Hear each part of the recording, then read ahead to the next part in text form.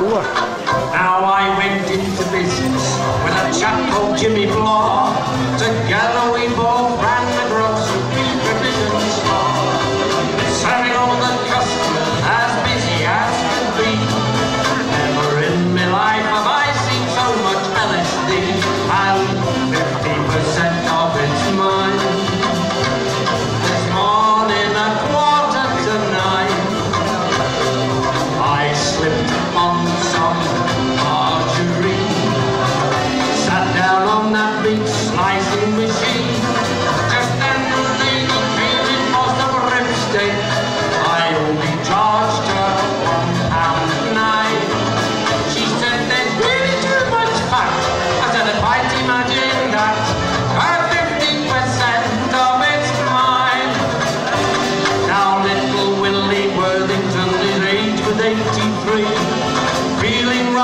jaded